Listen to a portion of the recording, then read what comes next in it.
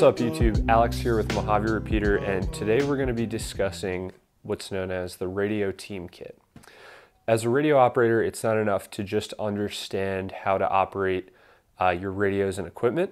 You also need to be equipped with the tools to be able to solve any problem that you might encounter in a field environment.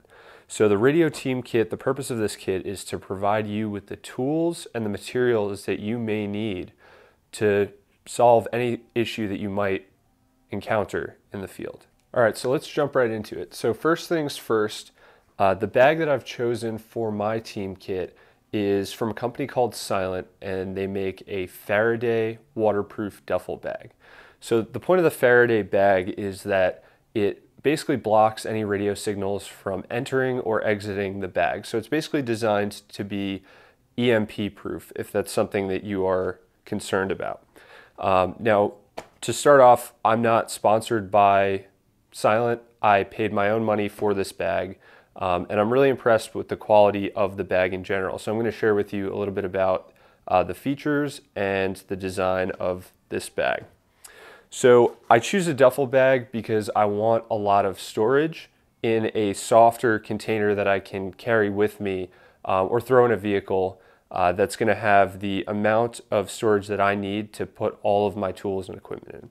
So this is a 40 liter duffel and it's more than enough space to store both all of the items in my radio kit as well as some extra gear uh, that I may have on me as well, such as you know a helmet um, or magazines or something like that um, if I'm operating in a field environment. Um, I really like this silent duffel bag because it's a nice professional looking bag. Um, so I can take this with me on jobs where I might uh, be interacting with customers. Um, and it looks clean, looks professional, uh, but it also has a nice place in a field environment. You know, if I'm wearing uh, multicam or something like that, it also uh, fits right into that environment as well. Um, you know, this, this is a nice looking bag and it's better than something like this you know, which I used to bring to the field um, when I was in the Marine Corps, but uh, something like this, I can go through the airport with this, you know, wear professional attire, whether that be a suit or, um, you know, something more professional looking. And I'm not going to look like basically a boot going through the airport with my tan uh, duffel bag, which I've done so many times, and it's honestly kind of embarrassing. So just to start off with this, I do really like the look and the design of the bag.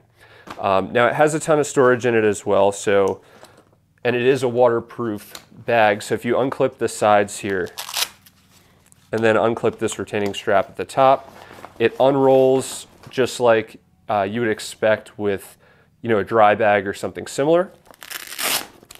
And I can go ahead and open this up, it's Velcroed, um, and then it has plenty of storage for all of my tools. So just getting right into it, uh, some of the things that I like to carry are a Toughbook laptop. Um, you can use any kind of laptop uh, to keep with you for the field, but I prefer something like this uh, that is not going to give me any problems if it gets wet or dropped or something like that. Um, now I use the laptop, you know, when you're interacting with radios, I primarily use the laptop for programming. Um, but I think that, you know, as a radio operator, you need to understand networking as well. So I use the laptop for programming radios as well as doing any sort of network configuration that I might need with, let's say, a repeater or a customer's networking equipment, things of that effect. And this is just the charger for the laptop. Now, one of the tools that I like to keep in the bag is a uh, just a nice multimeter. So this one is a Southwire multimeter that I actually got from a, a radio course that I went to. Um, and it gives you everything that you may need um, to troubleshoot radio equipment, right? So it's very important to know. Um, one of the primary things that I use this for is for determining if cables are good. So you can simply uh, use the uh, resistance function on this meter uh, to determine if you have a short in a cable. So that's a very useful uh, thing that I may do. Now, a little bit more that you might want to be able to do with cables and antennas is test the VSWR of your antenna. So what I have here, this is a NanoVNA on Amazon. And it's not, you know, the, the most premium piece of equipment out there, but this is a great affordable tool to be able to test uh, the actual SWR of your antenna and to determine if it's efficient for transmitting and receiving on the frequencies that you intend to transmit on. Um, another great tool that I've used in the past as well is a Bird SiteHawk. It's much more expensive, but it's a much nicer tool as well. Um, and it gives you some access to some nicer functions than the NanoVNA does.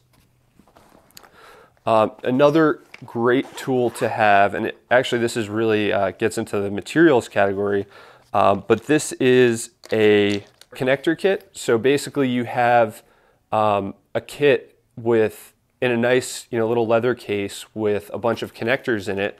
And this will allow you to you know adapt different connections if you need to do some troubleshooting um, or just make a quick solution for something. Let's say you have a busted cable and the only other cable that you have has a different tip on it then you can use this adapter kit this connector kit to be able to uh, create a quick solution for that problem. Highly recommend that you get one of those um, and you can always, you know, restock it. I find that something like this uh, is largely consumable because a lot of the connectors either go missing while you're operating in the field uh, or just get used and left behind. So um, you can always restock this kit uh, with um, you know extra parts from Amazon and stuff like that. So I recommend you have that on you. Um, now speaking of networking earlier, um, I like to carry with me this little thing as well. This is a Sea to Summit, actually like a microfiber towel case, uh, but you can you know use anything you want really to store this stuff.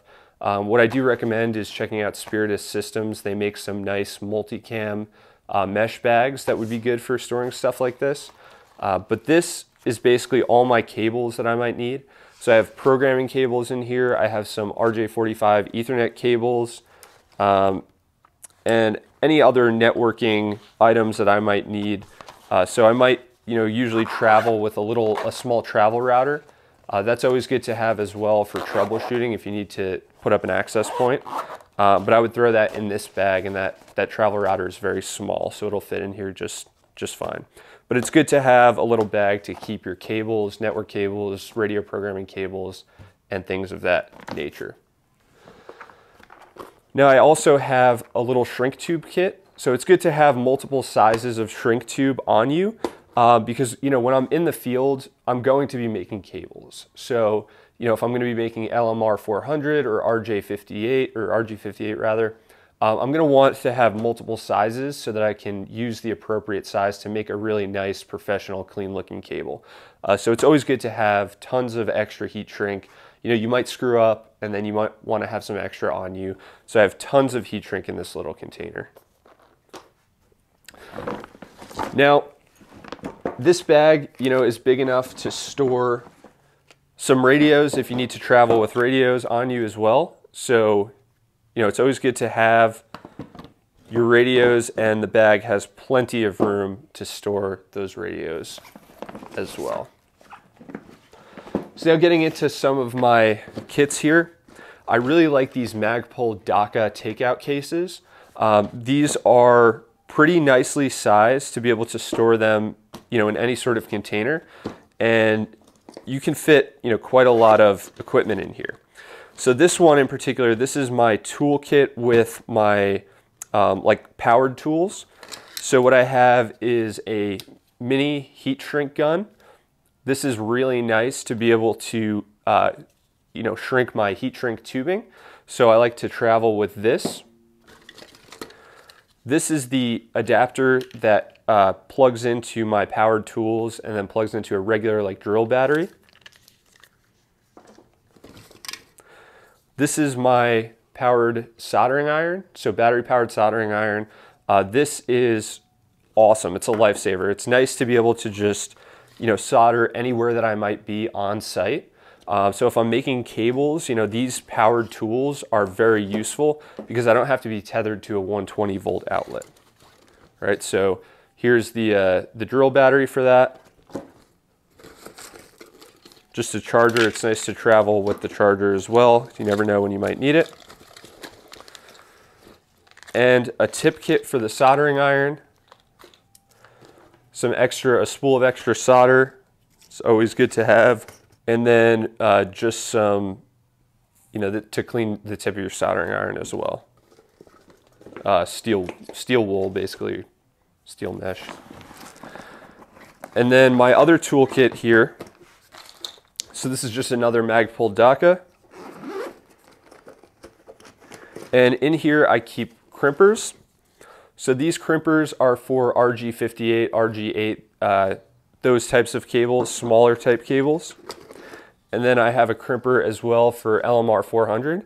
You might be able to find one that has uh, the right dies to crimp both the smaller types and the larger LMRs. Um, but I just have two. I also have a nice uh, cable cutting and stripping tool.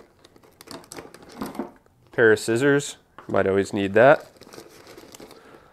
A small spool of RG58 cable it's good for you know vehicle installs or if you need to make a temporary patch cable or something to that effect. Just put this down here. I have a small pair of uh, side cutters. Always want to have electrical tape. A lot of consumable items are good to keep on you, like the electrical tape. Um, a ruler to measure things. So if I need to measure like a run of cable, um, or if I need to, need to improvise an antenna, I can do that um, because I know, you know, I have the calculations on hand uh, to be able to make the antenna. I'll tell you more about that in a minute. Um, but just a simple screwdriver.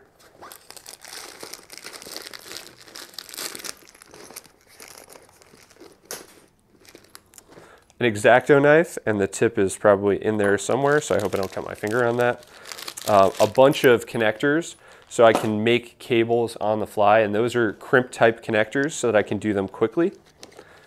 A headlamp and I also have a flashlight in here as well.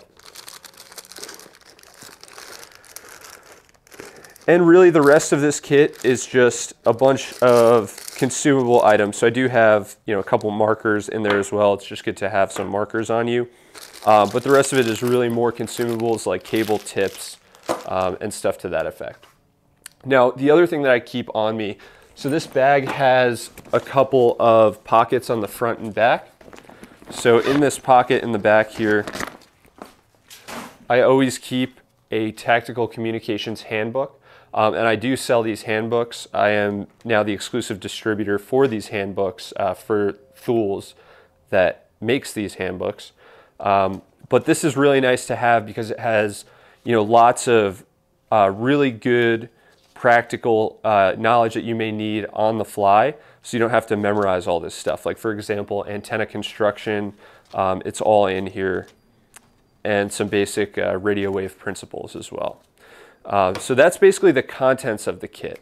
Now, another thing to just keep in mind, so sometimes I might be flying with this kit and so, you know, if you're flying with sharp tools and batteries and stuff like that, um, first of all, you're gonna need to check the bag that has the sharp tools, but you need to carry on the batteries and stuff. So if I am flying uh, or traveling with the kit, sometimes I'll throw it in this case. And so this is just a Pelican 1510 case. I find this to be the perfect size for all of these items. It fits everything exactly perfectly in this case. So it's basically got, you know, as much size as the duffel bag does, actually a little bit less, um, but it just fits everything just right. And what I have equipped on this case is a little light here. So if you can see that red glow, um, that is a light by a company. I'll link it down below to where you can get that light, but it's nice to have a little light to be able to see all your tools in the field. Um, and I chose red for that light so that it's low visibility. So if I'm ever doing anything, you know, with the military in a field environment, I will use the red light on the case. So I got pretty much most of the materials here off of Amazon, um, most of the tools and stuff like that. So I'll throw some links down below in the description to some of the um, some of the tools. Some of the stuff is a little bit more generic, so you can just kind of search it and find it. Um, what I want to you know, impress upon you is that there's really no right answer for this kit. it should be built out to suit your needs as you're operating in your environment. So as you get more time in the field, more practice, um, you know, operating radio equipment, then you're going to figure out what tools and materials you need to solve the most common problems that occur in the field. So speaking of which, what kind of problems might you know, a radio operator experience in a field environment, right? So without fail, you know, every time I went to the field, there would always be, number one, some kind of issue with a cable, right? So if I have the ability to cut that cable and splice it in the field or make a new cable, you know, whether it be an RF cable or some kind of data cable, if I can repair that in the field, then that's great without having to, you know, carry extras or even you know, a lot of times we were just limited by the number of cables that we actually had. So to be able to make that repair in the field, that is, you know, really, really important. Um, you know, if you're primarily doing uh, vehicle-based ops where you have equipment installed in a vehicle, um, you know, you're going to have tons of cables and tons of, uh, you know, actual electric components, electronic components within that vehicle with cables running front to back and uh, antennas bolted onto the outside of the vehicle and things like that. So a lot of times things would shake loose or um, you know cables would become broken or dislodged, things like that. So you just need to be able to have the tools to repair that stuff in the field. I can't tell you how many times you know the bolts worked their way out on an antenna mount and then the thing was flopping around or dangling uh, from the vehicle as we're driving. Just to be able to have the tools at your disposal quickly quickly accessible to be able to fix that thing is huge. Um, and then any sort of troubleshooting with electronic equipment, so whether it may be some kind of radio um, or computer or something like that, to have that multimeter is a really good tool to be able to diagnose and assess the equipment um, you know, that you're operating with, whether it be a battery that has failed or something to that effect. At least you can figure out the answer to that and then know, you know how you can be prepared for next time, or hopefully you're prepared uh, when you go into it to begin with. Okay. So what I'm going to do real quick is I'm just going to put this bag on the floor and I'm going to show you the interior of the bag uh, with some of my uh, gear in it as well to show you how much storage that this bag really has. All right, so just quickly taking a look at this bag. So you have a handle here and then a buckle and that's going to un unclip uh, pretty easily and quickly. You have two buckles on the sides, and then you can unroll the bag uh, to the top. This is secured by Velcro. Now, uh, in here, what I didn't show you in the video is that there's plenty of space to keep, um, you know, some of my extra equipment like, let's say, PPE like a helmet, um, hearing, uh, hearing protection, stuff like that.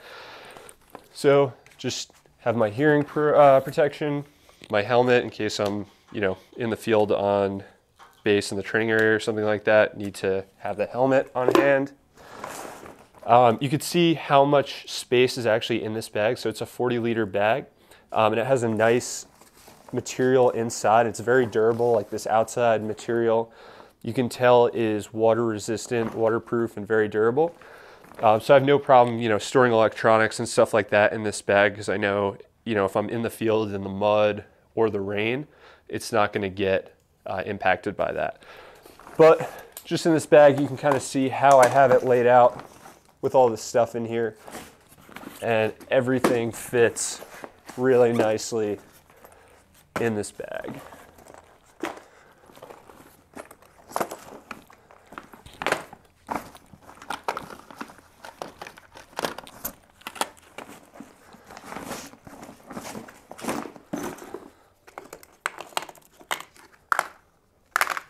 So plenty of space for all my radios and equipment in there.